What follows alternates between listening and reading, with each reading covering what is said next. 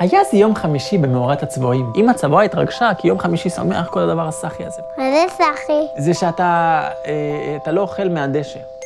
או מהבוץ. נכון, לפעמים נופל לך, אבא אומר, אל תראה. תתרכז בסיפור. אוקיי. אז היה זה יום חמישי, והצבוע הפעם התרגשה אקסטרה, כי היא קבעה לצבוע, מבלי הסכמתו, ללא ידיעתו, לא סתם תוכניות, דאבל דייט עם הנאקות. הנאקות גרות בבית המוות. לא בית המוות, איזה כיף, אתה רואה עם אבא במונדיאל, מעניין, אנגליה, שוודיה. לא, בית המוות, האוויר לא זז. שקט, אה, חם, לחות, כמו בבית כנסת שאתה אוהב שאבא לוקח אותך. בית תקשיב לסיפור, תלך לישון יפה, אחרת מחר על הבוקר אבא לוקח אותך למנחה. לפני שיוצאים מהבית, הצבועה מברברת עם הנאקה בטלפון. בשביל מה? את עוד שנייה רואה אותה, למה לעכב עוד את המעוכב? לאחר ויכוח קצר, הצבועה מנתקת ואומרת, יאללה, בוא, אני נוהגת. עכשיו, אין לי בעיה שהיא נוהגת, אבל למה את מתאפרת תוך כדי? בכל חייו לא חשק כל כך הצבוע להגיע למקום שהוא לא באמת רוצה להגיע אליו. ולמה הוא הסכים ללכת?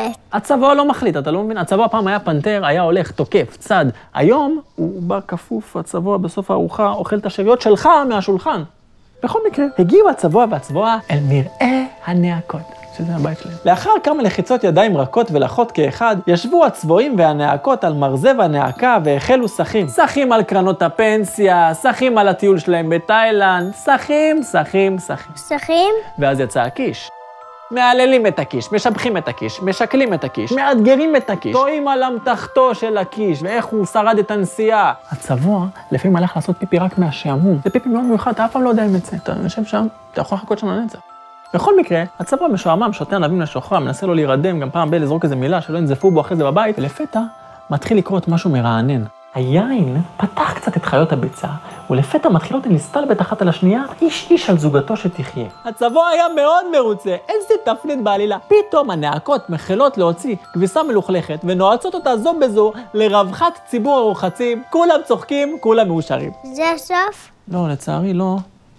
בעודף ענווה וקישיותו חשב הצבוע שהוא יכול גם להשתתף בשמחה ולחקות את הצבועה המפליצה מתוך שינה. מאוד מצחיק, כן? היא, היא, היא ישר, היא עושה קולות כאילו ישנה, זה התת מודע עושה את זה בשבילה.